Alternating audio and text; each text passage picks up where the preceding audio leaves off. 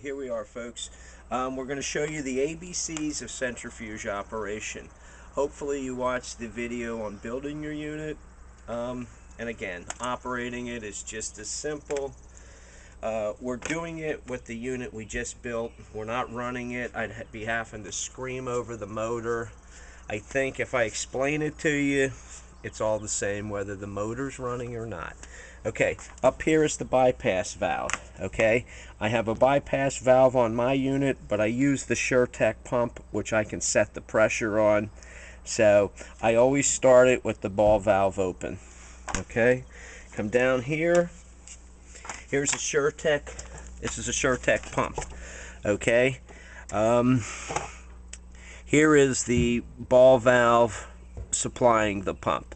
Let's open that of course there would be a cord and we would plug it in. Okay. The pump's running. Come up here. It's running. It's all bypassing. Okay. As I turn this the pressure gauge goes up. Let's just pretend okay? It's a brand new pump. SureTech pumps are preset at 50 psi so on the gauge we'd be at 50 psi okay? So we come down here to the pump we move off this black tip. Right here is a lock nut. Take the lock nut, loosen, take a 1 8 inch Allen wrench. I believe it's clockwise, but you can watch your pressure gauge as you turn it. And you can turn this right up to 90 psi, lock it, put the little tip back on. I'm not really sure what the tip's for. It usually breaks off anyway. Okay come back here. Now you're already preset at 90 psi you can open this. This powers down. We're bypassing.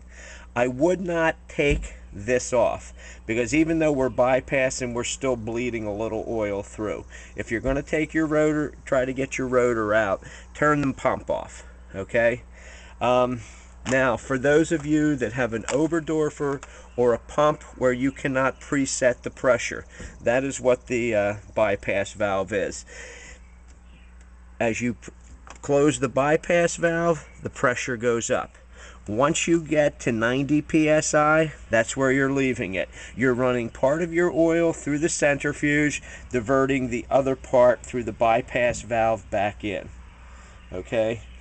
Um, one thing I will show you, in a case like this, instead of just running your dirty oil into the top with your clean oil because there is a process you have to make so many passes okay? Which means this is a 60 gallon per hour one pass is per hour that's where you've processed one drum load every hour so four passes would be four hours of running um, I don't like mixing my dirty oil with the clean, and it's basically a convection thing. Whatever the temperature of the oil is, supply side of the pump, you're going to lose a percentage of a degree, maybe a degree and you know 1.2 degrees but you're still talking a convection process of your oil. The hot oil is coming up the cooler oil and again it would start to drop. Um, so what I do is in this drum here I would hook my bypass into this. Notice it drops it right down on top of the supply too. So the only thing that's dropping in would be the clean oil. Of course, there's a bunch of crap in my drum too.